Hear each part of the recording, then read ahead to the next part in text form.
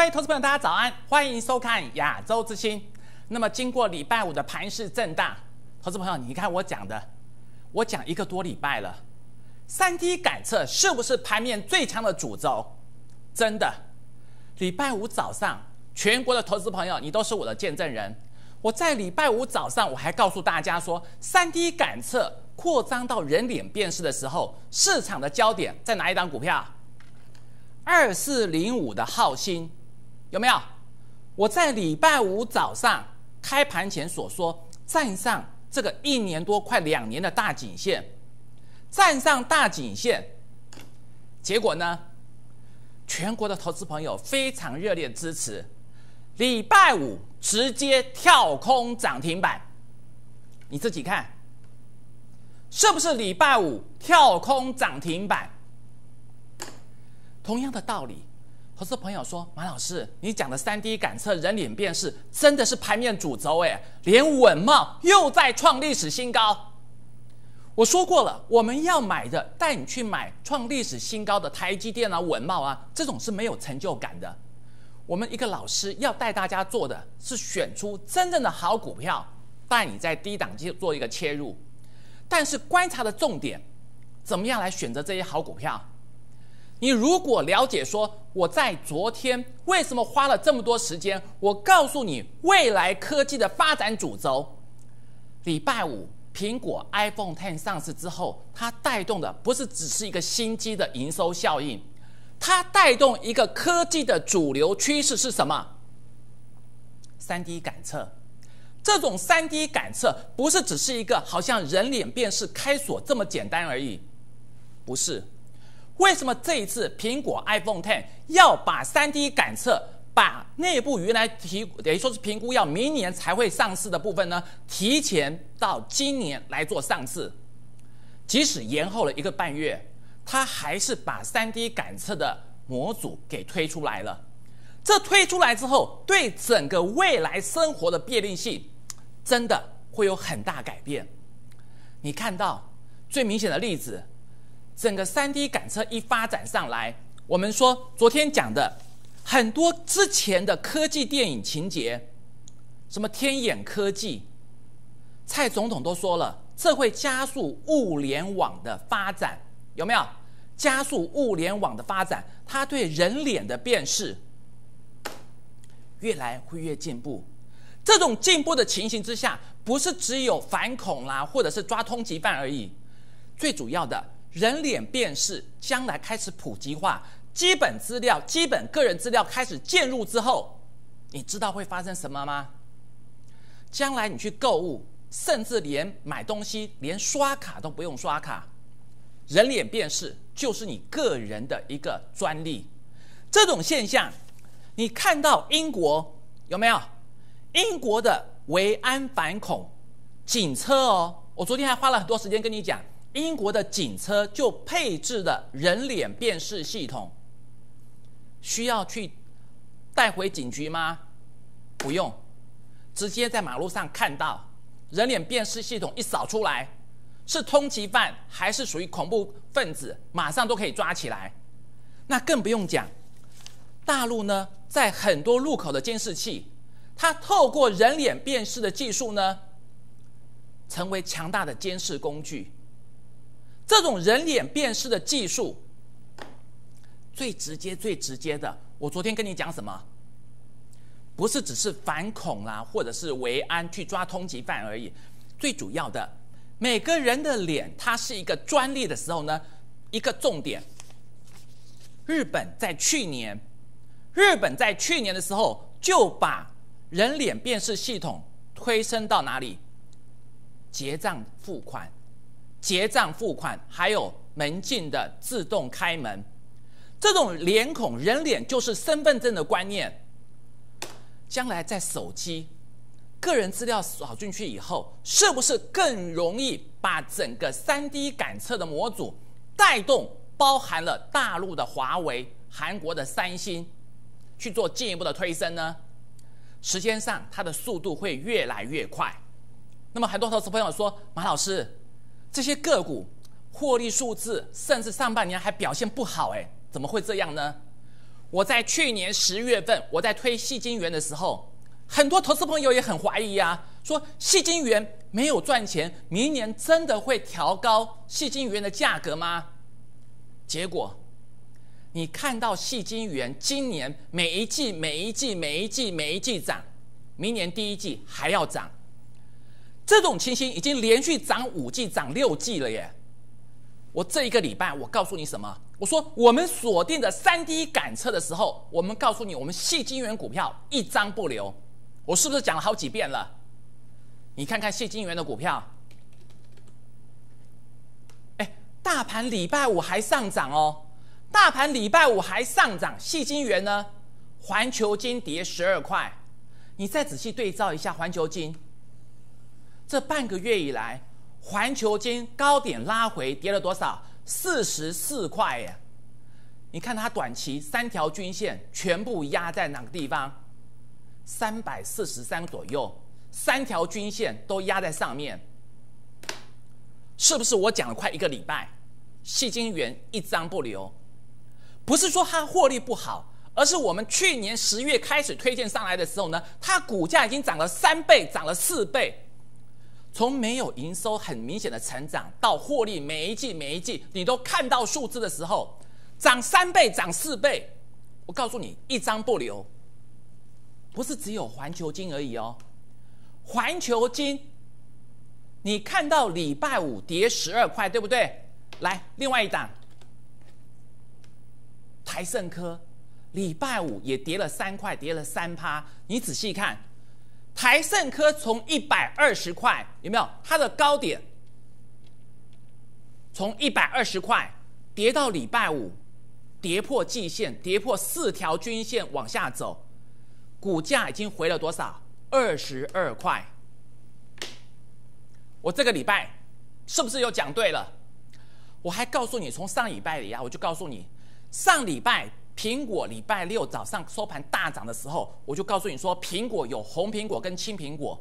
我上礼拜把玉金光、把叶城空单回补之后，我说我也不救你，不是说我不喊他，而是他的筹码需要整理。你看这一个多礼拜，我是不是又讲对了？细金元，我叫你说一张不留。你看到礼拜五环球金，好六四八八的环球金。大跌十二块，高点回下来跌了四十四块，三五三二的台盛科跌三块，高点跌下来跌了二十二块。我又讲对了。接下来呢，马上下礼拜，两件事情要陆续要发生。两件事情，第一件事情，第三季财报陆续公布。第二件事情，马上十月营收又要公布，你有没有做好功课，说能够选定第三季财报，甚至包含了十月营收能够持续成长、创历史新高的？我举一个例子，我们在昨天礼拜五开盘前，我讲的浩鑫技术面是不是一个大底结构？刚刚突破，浩鑫在礼拜五，你真的看到？一件很真实的事实，跳空涨停板，跳空锁六万五千张，锁住涨停板。我也说过，我不要你去用追涨停板的，但是它的各些个股震荡的过程，你一定要逢低买，不要说涨上去了你想追，跌下来了又不敢买，刚好颠倒。这种操作节奏，你想想看。马上接下来要公布第三季财报，公布十月营收。你如果做好功课，来，我再让你看一次。二四零五的浩鑫，礼拜五开盘前我讲是不是一个大底结构？刚刚站上颈线。那么礼拜五你也看到一档股票很真实的，EPS 并不亮丽，股价马上达到跌停板，四九六八的利基。很多投资朋友都有，我知道，利基前三季哦，EPS 一点五二元，比去年的一点八八三元呢还要低，股价从去年以来涨了两倍，拉回这么正常。利基一百一十一块，才一块半的获利，一点五二的获利拉回很正常。但是我选的标的是选什么标的呢？第一个条件来，这个条件跟浩鑫一样，是不是一个大底刚刚突破的位置？第二个，它的营收九月营收创下历史新高，哎，大盘这个礼拜还在创二十七年新高，哎，大盘创二十七年新高，它的营收创下历史新高，结果股价。是不是一个大底的低点才刚刚开始而已？第二个，它十月还有推新产品，十月营收还有更好的表现机会。第三个，十一月份呢，巴黎的展览呢，它又推出新产品。最重要的重点在这里，估计它第三季的 EPS 会叫第二季倍增，第三季 EPS 会叫第二季倍增，前三季会赚赢去年全年。前三季加起来，EPS 就接近谁？利基。前三季的 EPS 就接近利基的时候，你知道吗？它的股价只有利基的四分之一。四分之一，你没有听错，你再看一次。它的 EPS 前三季估计呢，跟利基很接近，结果。前三季表现这么好，营收创历史新高，股价竟然在底部的发动位置，是不是跟昨天的浩鑫一样？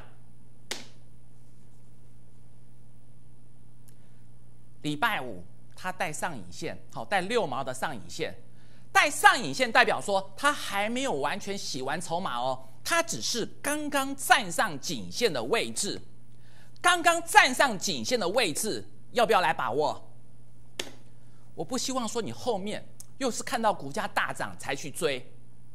昨天的浩鑫讲完，哇，礼拜五开盘前，全市场都认同，马上一开盘跳空涨停板。那请问，接下来这一档，礼拜五是在上影线哦，成交量一万多张，低价位，低价量大，人人买得起。股价低档形态，又是第三季估计呢，会比第二季获利倍增，前三季就可以赚赢去年全年的数字。它跟利基刚好颠倒，利基是涨了两倍，不如预期掉下来。它是在底部开始发动，九月营收就已经创历史新高，十月、十一月利多一个一个出来，但是股价呢，礼拜五才刚刚站上颈线，有没有？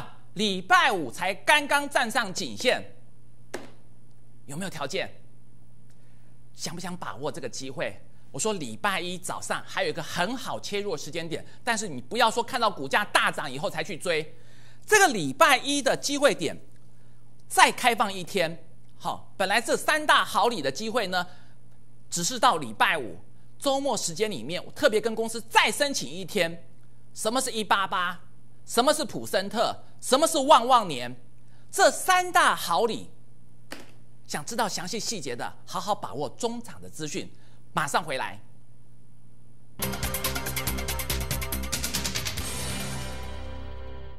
以上是记者邵婷在街头的采访报道。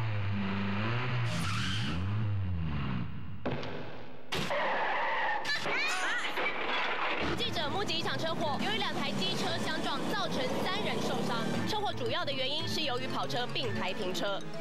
小姐，小姐，请问一下，为什么要并排停车？我我只是下车买东西一下下而已啊，我也不知道这么严重啊。方便一下子，祸害一辈子，请勿并排停车。超越大盘，领先市场，挑战自我，掌握行情。市场的常胜军，亚洲投顾拥有一流的分析师阵容，坚强的研究团队，准确的多空操作，稳健的获利绩效，提供您全方位的投资组合。亚洲投顾带您迈向不同高度，开启非凡人生。您财富的管理专家，亚洲投顾，亚洲投顾珍惜所托，真情照顾。咨询电话：零二二五七八三七七七二五七八三七七七。我学习的快乐，在我做事情上面，我就更有成就感。每一个人都是一个独特的公司，用自己的才能发挥出自己的作品。而善用你们所有的实务经验，技职训练可以让你具有更大的优势。找寻出自己道路的方向，技职教育让我有无限可能。选技职，好好读，有前途。消灭登革热，仔细清扫，立即做。饮水机水盘若有积水，要倒干净。花瓶旧水倒在土壤中，可以避免再次积水养蚊。花瓶底部、盆栽底盘要常常刷洗，避免蚊卵附着。不使用的水桶记得倒质量干净。别忘了食蚊鱼也是消灭疾绝的小帮手哦。防治登革热，清干净、倒干净、刷干净、晾干净，大家一起来。你未来想做什么？嗯，如果你对未来感到茫然，找不到方向，诶，产业人才投资方案，请不要停止前进，相信每一段经历都是蜕变的开始，相信每个人都有改变的机会。从现在起，找到自己，找到未来。劳动部劳动力发展署桃竹苗分署。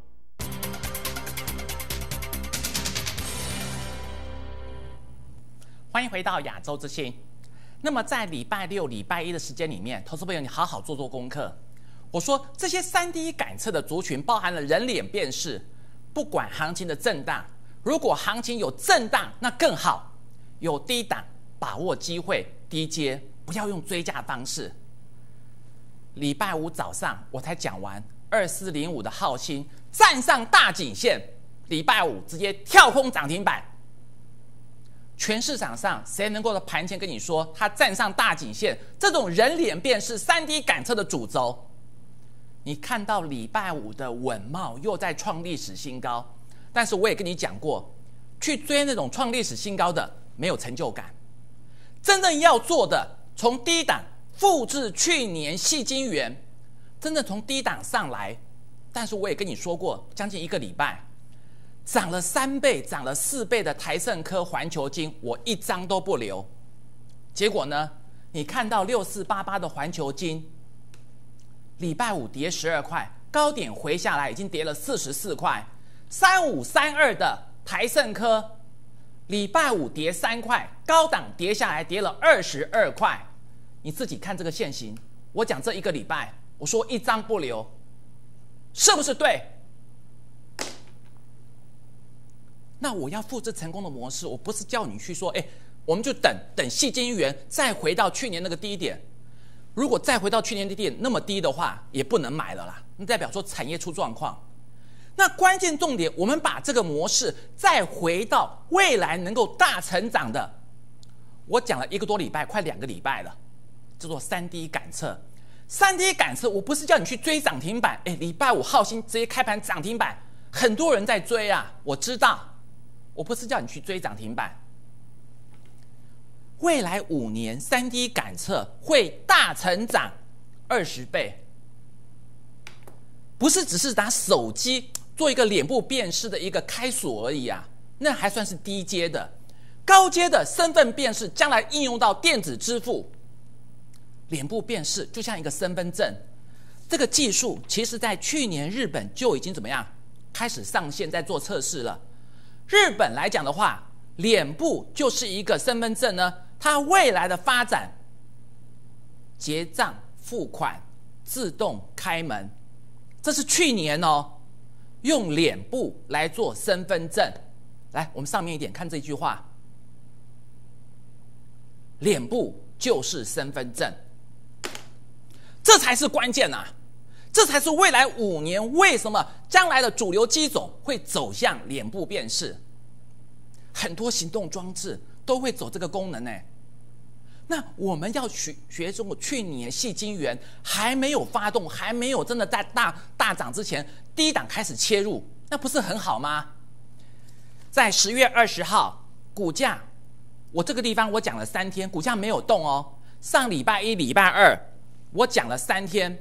后来真的礼拜三、礼拜四、礼拜五三天大涨二十趴，我也告诉你，低档颈线还没有发动之前，我们就先告诉你说，它已经在突破，要去测它的大颈线，要突破，要开始发动了。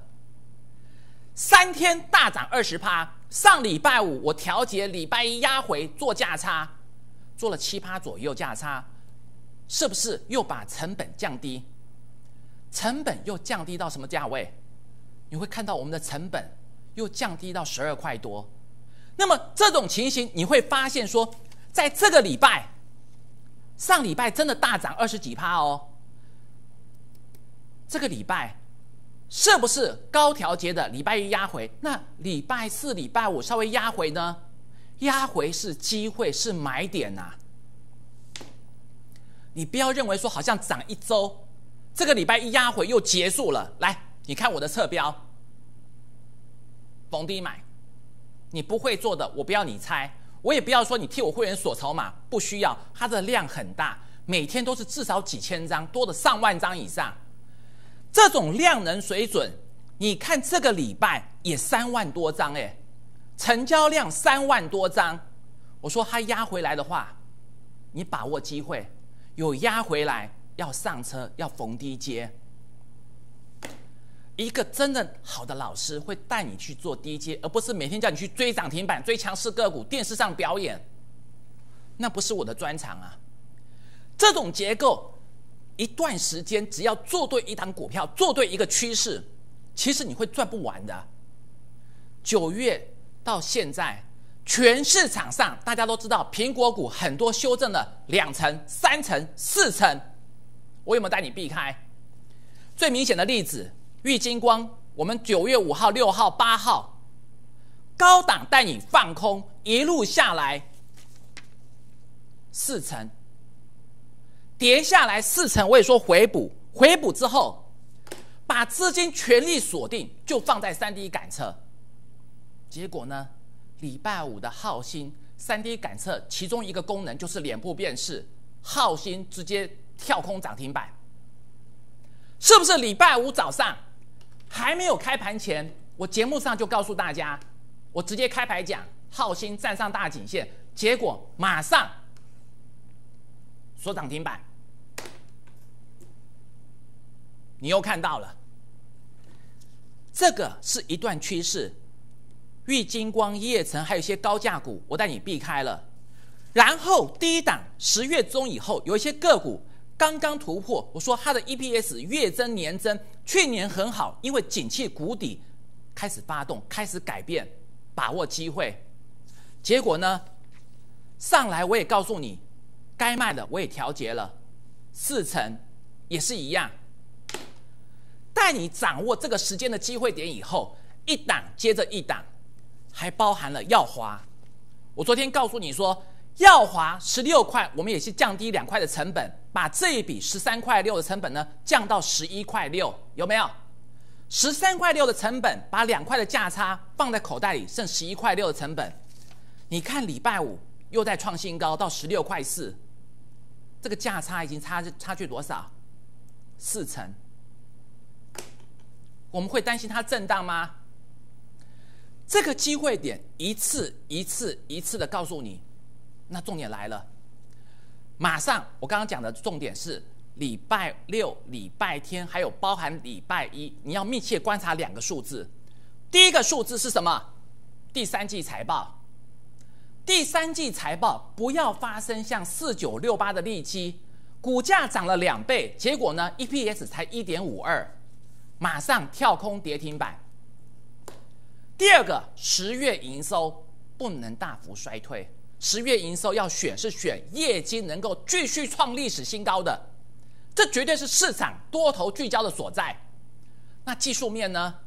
技术面当然不是找那种高档，诶，跟着大盘指数一样在高档的股票，而是在低档开始要接棒。就像浩鑫，礼拜五早上我告诉你说，刚刚突破颈线，有没有？刚刚突破颈线十三块五这个大颈线的位置，结果讲完。浩鑫礼拜五直接跳空涨停板，再来一次。礼拜一会表，诶，别人说是多头会聚焦表现哪一档股票？同样跟浩鑫这种大底结构有没有？大底结构刚刚开始发动，来，我礼拜五等它确认，确认站上这个大颈线，买进。重点在这里，九月营收创下历史新高哦，十月有新产品推出来，十一月又有巴黎商展的新产品推出来，十月、十一月有没有机会更好？前三季，前三季的获利反而估计赚赢去年，又是第三季的 EPS 会比第二季倍增。讲更仔细一点，它前三季的数字跟谁很像？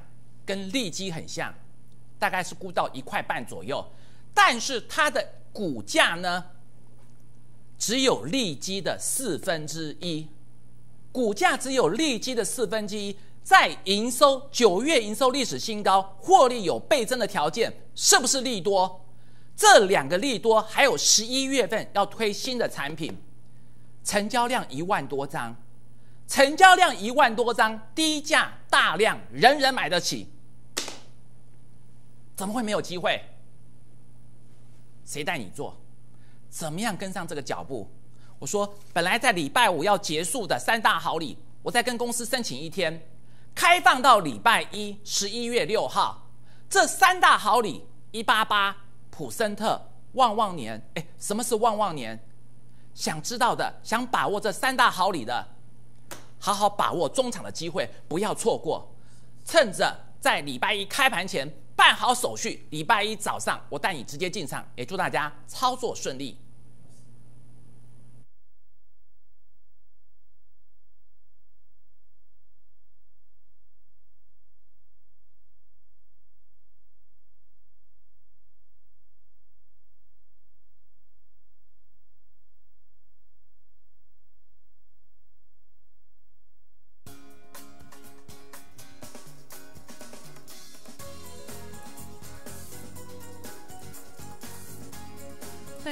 所推介分析之个别有价证券无不当之财务利益关系。本节目资料仅供参考，投资人应独立判断、审慎评估，并自负投资风险。